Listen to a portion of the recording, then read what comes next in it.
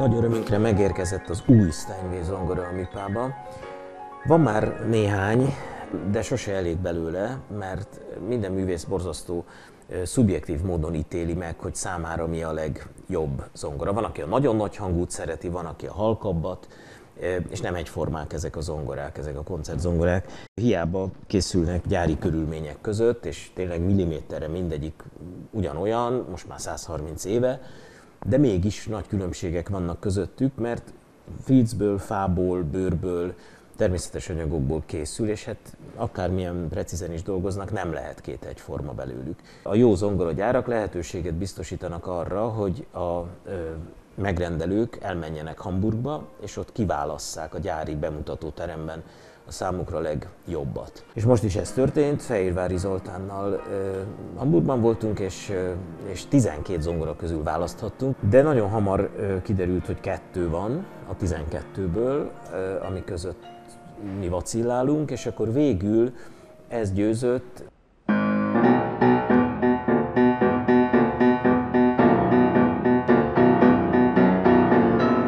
előadónak sok fizikai szempontja is van, hogyan szólaltatja meg a zongorát, hogyan kényelmes neki, hogyan tudja a, a saját üzenetét, művészetét a legkönnyebben ugye átvinni hangokba, tehát itt akár billentés fajtaság, billentés mélység, könnyűség, nehézség, stb. És ezeket valahogy némiképp félretéve, de azért nyilván fejben tartom, mert azt sem lehet mondani, hogy ezek másodlagos vagy harmadlagos szempontok lennének.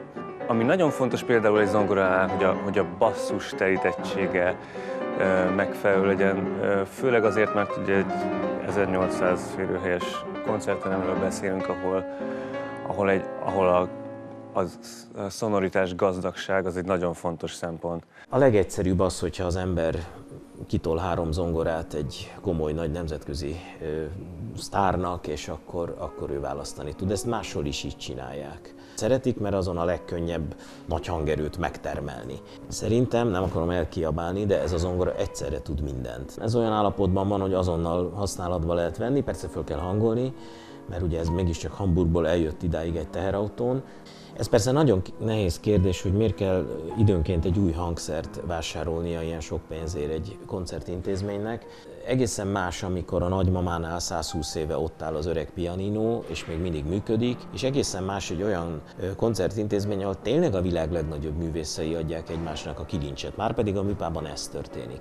És vannak olyanok, nem is titok, például Szokolov, aki nem hajlandó öt évnél öregebb zongorához leülni, mert azt mondja, hogy az már nem teljesen olyan, mint a vadonatúj.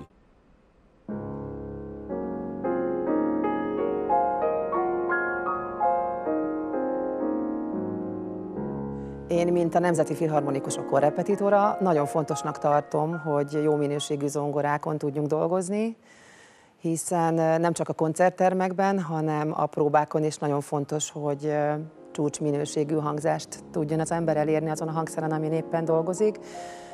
Például az énekeseknek is nagyon fontos, hogy mindig kristálytiszta legyen egy zongora, és úgy gondolom, hogy a a zenekart is, és az énekkart is, valamint a szólistákat is inspirálja az a hangzás, amit egy, egy új zongorából ki lehet csalni. Tehát ez őket is arra sarkalja, hogy magukból is a legjobbat hozzák ki. Az imént játszottam először itt Budapesten a Műpa hangversenytermében a színpadon az általán választott zongorán. Ha jól számolom, három hónap telt el azóta, hogy kiválasztottam ezt Hamburgban, és bár százszerzalékig meg voltam róla győződő, hogy ez a legjobb zongora, amit elhozhatunk. Természetesen mégis volt egy apró, minimális nyoma a rossz érzésnek bennem, hogy de hát mi van, hogyha ez itt egy egészen más akusztikai környezetben nem fog úgy működni, mint ahogy én azt ott hallottam. És hát nagy kőesetre a szívemről, mert, mert nagyszerű érzés itt játszani. Mondanom sem kell, hogy sokkal jobbak az akusztikai körülmények, mint Hamburgban, abban a kis próbateremben.